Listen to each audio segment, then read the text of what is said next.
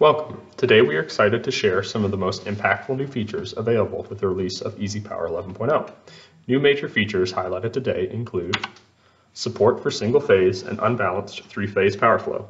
Now, single-phase equipment on the one line can be included in power flow calculations with a new unbalanced option. In addition, enhancements to Database Browser and Database Report have been made to update their user interface and provide new functionality to improve workflows and efficiencies. EasyPower 11.0 includes support for single-phase and unbalanced three-phase power flow calculations. To enable this, under Tools, Options, System, there is a new drop-down for power flow calculation method with choices for balanced and unbalanced. Selecting unbalanced will allow for single-phase equipment modeled on the one line to be included in power flow calculations and will use the new calculation method for power flow. To edit power flow options, users can either navigate to Tools, Options, Analysis Options within Database Edit, selecting Power Flow, or can simply enter Power Flow and navigate to Power Flow Options. Once in Power Flow Options, the Control tab allows for the behavior of the Power Flow study to be specified. Here, a user can input their desired solution mismatch, limits, motor start solution method, motor start smart breaker behavior, voltage regulator initial condition, and output criteria. Taking a closer look at the output criteria, one can see that overload thresholds as well as voltage thresholds can be specified. In addition, these thresholds can be specified further based on the desired type of comparison. For example, the overload threshold can be set to either positive sequence or phase. Positive sequence uses only positive sequence values to make the comparison, where phase uses the individual phases to compare to one another. Bus undervoltage and overvoltage thresholds can also be specified with these similar options, positive sequence and phase, as well as the addition of the line-to-line -line option, which uses, as the name suggests, line-to-line -line quantities to compare to the threshold specified. In addition, there's a bus voltage unbalanced threshold with standard calculation options to compare phases for unbalance. And finally, negative sequence and zero sequence voltage thresholds for comparison. Moving to the text output tab, one will see that this menu allows for a variety of summary reports to be generated, as well as options for generating a detailed report if desired. The standard detail report contains additional information as compared to summary. For example, when the network option is set to elements, the detailed report will show information for all phases A, B, C, and N. The units section is used to designate the units the report will use to display results. There are options for bus voltage and branch flows with a variety of options. The network options dropdown as previously mentioned, specifies the report format. Positive sequence only will include only results using positive sequence quantities, while symmetrical components will use all three symmetrical component values, positive, negative, and zero sequence. Finally, the elements option reports quantities for each phase, A, B, C, and N. Navigating back to Database Edit View, it can be seen that this system contains three single-phase loads, unbalanced, connected to bus N4. To solve the power flow, Simply navigate back to PowerFlow and click on Solve. There are one-line display options that can be selected for voltage drop, losses, overloads, voltage violations. In addition, standard options for the one-line display listed above.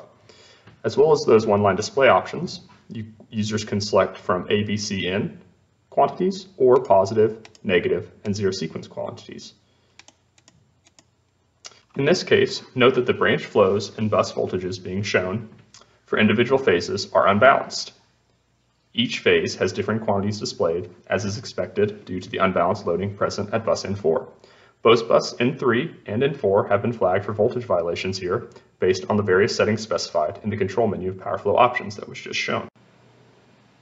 Taking a look now at the summary reports that were generated, in this case, only the line overload report was generated, and it's using an overload threshold of 5% based on the maximum phase current. As can be seen, uh, the branch from bus N3 to N4, line 2, is overloaded at 1107 amps.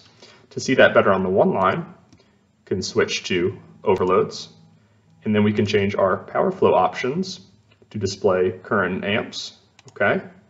And see, for phase C, that 1107 amps was flowing, as was reported, worst case, in the summary report and on the one line for line overloads. EasyPower 11.0 features enhancements to Database Browser and Database Report. To start, the Database Browser and Database Report buttons have been moved to the main ribbon to allow for easy access. From the ribbon, one can directly open either to the Database Browser or the Database Report.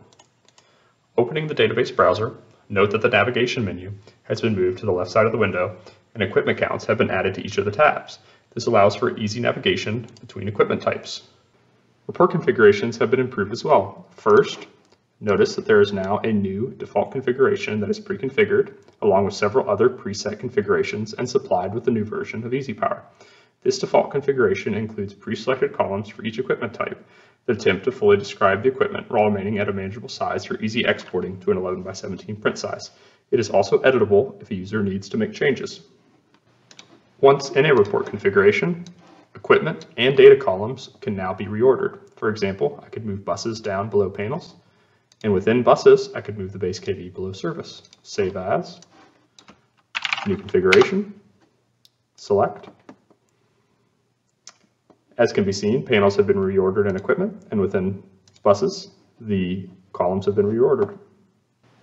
In addition to the report configuration enhancements, there is now support for both sorting and filtering data columns. For example, one could navigate to cables and filter for an assumed length, in this case maybe 9 feet, filter, and as can be shown, only 9 foot cables are shown. Or, moving to low voltage breakers, one could sort by the on-bus column to allow for easy grouping of breakers for use in the field. The database browser allows for export directly to Excel or CSV. The exports contain all equipment groups and their respective data columns that are currently present in the browser. Before moving to database report, a quick note on the improved find feature. Now, find will match partial and full results and highlight all occur occurrences. For example, I could type A, K, R, and as can be seen, multiple results are highlighted. However, if I continue to type AKR-50, only one occurrence is highlighted as that is a full match for that string. Moving now to database report. The database report retains the same format as previous versions with improved functionality. As mentioned, the database report displays the current state of the browser when opening. So if navigating to the database report with any sorted or filtered columns in the database browser, those will persist here and be noted with asterisks in the new navigation pane, as can be seen for low voltage breakers. Navigation pane allows for simple navigation to different equipment groups in the report. Just like in Database Browser, report configurations are supported and can be set in the report. Finally, the report allows for export directly to Word or printing, in this case to PDF.